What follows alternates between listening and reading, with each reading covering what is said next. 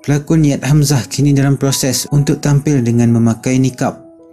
Yat ketika dihubungi berkata, dia sudah mula memakai nikab sejak PKP lalu.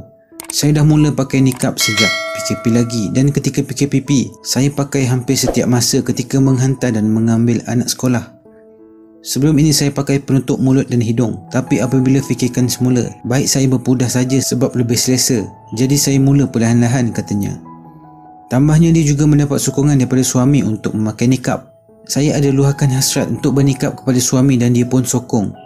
Bukan sebab saya cantik atau wajib tapi sebab memakai nikab banyak hal seperti fitnah boleh dielakkan. Dengan memakai nikab juga saya dapat saya dapat mengawal hati sebab ramai tahu saya jenis suka ketawa. Ia juga meminta semua untuk mendoakannya terus istiqomah. Saya pun masih belajar dan perlu banyak istiqomah. Saya tak tahu sama ada saya kuat atau tidak untuk terus memakai nikab. Saya kongsikan gambar di IG sebelum ini bukan untuk menunjuk sebaliknya meminta doa daripada keluarga rakan dan pengikut IG saya katanya. Terima kasih kerana menonton. Kalau anda suka video ini jangan lupa untuk like, share dan subscribe. Kita jumpa lagi dalam video akan datang.